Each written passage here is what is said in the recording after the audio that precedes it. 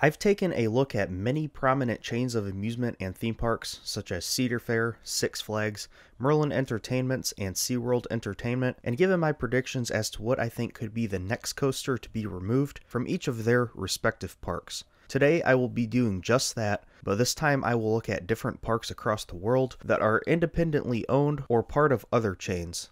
As always, I have to make a disclaimer here. I am not very familiar with most of the parks on this list, nor have I visited most of these parks myself yet. In fact, I've only been to two of these parks. My predictions are based on information I know about these parks, and I will make my best educated guesses about what I personally think will be removed next from each park, so don't get upset about one of your favorite rides being on here. This is purely 100% speculation, and none of these removals are confirmed in any way by these parks. And also, just because I think a coaster may be removed from that park next, it does not mean that I think it is going to happen at any point in the near future. If it does happen, it could be 10, 15, 20 years from now. With that out of the way, let's get into my list. Starting off is one that I'm pretty familiar with. This is Kennywood, and for Kennywood, I think Exterminator will likely be the next coaster to be removed. This is a 1999 Reverchon Spinning Wild Mouse coaster, and this is actually a really fun ride. It has some pretty decent theming. It's completely in the dark, and it just really cool. Uh, it gets really long lines, so it's a pretty popular ride at the park. So I think it will be around for quite a while longer, uh, but I do think it could be the next coaster to leave Kennywood when looking at all the other options in the park. Next up on the list, we have Lagoon, which is in Farmington, Utah. And for this park, I also selected their Wild Mouse. This was a difficult park to make a selection for me, but I did settle on the 1998 Maurer Wild Mouse Coaster. I just think that they could utilize this space for something much better. Lagoon has a lot of family oriented roller coasters. They have a great selection of family coasters, in fact, and they could just use this space for something a little more unique, I think. Next up, we have Phantasialand. For Phantasialand, I selected Crazy Bats. To me, Crazy Bats is the only obvious choice in this park. It opened in 1988. It was formerly called Space Center up until 2000 and then Temple of the Nighthawk until 2018 when it was renamed to Crazy Bats. This is a Vekoma MK900 indoor coaster. It's actually pretty long. It's nearly 4,000 feet long. It's just an older ride. I think they could really utilize the space for a more modern attraction that's a little bit more in line with what they've been doing lately. All of their other coasters here are fairly new. The oldest one besides this opening in 1996 and most of them opening in the 2000s. So to me, Crazy Bats was the obvious choice for Phantasialand.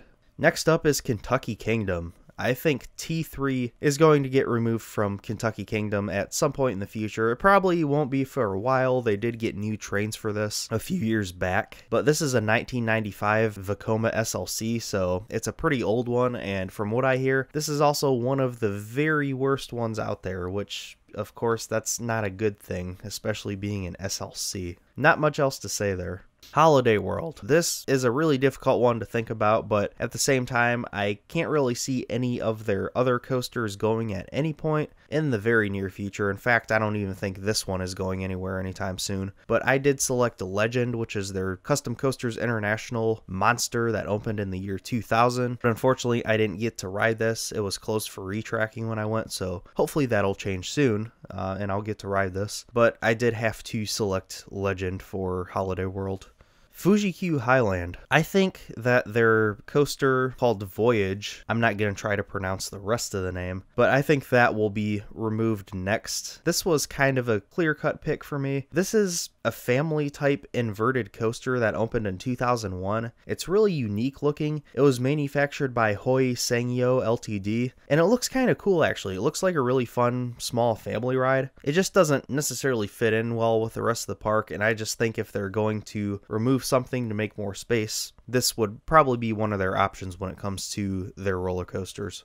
I wanted to cover Energylandia in this list. Of course, the park opened in 2014. It's a very new park, but they have a ton of roller coasters. They honestly wouldn't be too bad off in getting rid of two or three of their coasters because they have so many very small kiddie coasters just thrown in there. The one that I selected for Energylandia, though, is Circus Coaster which is a 2017 SBF Visa oval coaster, and that's literally all this coaster is. It's just an oval. And one of the reasons I picked this one instead of the many other kiddie coasters in this park or anything else is that this one has zero theming, unlike a lot of the other kiddie coasters, which look to have really good theming here. Circus Coaster, I think, will be the first coaster on the chopping block for this huge park in Poland. For Hersheypark, many people have been talking about Wildcat, the very first GCI coaster, possibly getting the RMC iBox conversion, or even getting some sort of treatment by GCI, whether it be a refurbishment or utilizing that new track they revealed recently.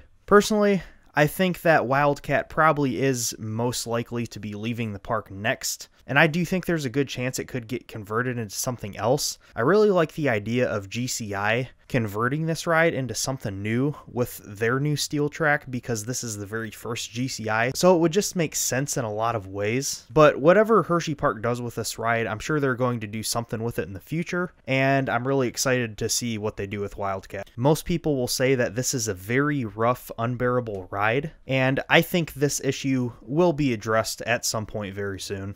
For Port Aventura in Spain, this was a really difficult pick for me. I had four different options for this park that I think could potentially be removed next, but I did go with Stampida, which is a 1998 CCI racing wooden coaster. Kumbak trains were added for the 2007 season, which I am aware of, so those trains aren't really new at this point, so I don't think that necessarily says that this ride is going to be around a whole lot longer. Although it probably will, but I think this ride could potentially be a good candidate for an RMC treatment. And they do have another wooden coaster in the park, which is a smaller, more family oriented coaster, so they would still have a wooden coaster. For Europa Park, I selected Alpine Express Enzian, which opened in 1984. This is a Mack powered coaster. VR was added in 2015. And when I see like these really old, small powered coasters, and then I see they added VR in fairly recent years, it's like, to me, that kind of spells out a decline in popularity in recent years. And it seems like maybe they're adding the VR as a little bit of a gimmick to try to gain some more popularity with it again and sort of market it as a newer attraction. And looking at all the other coasters in the park, I just don't see any other obvious candidates. For that reason, mainly, I went with Alpine Express Enzian.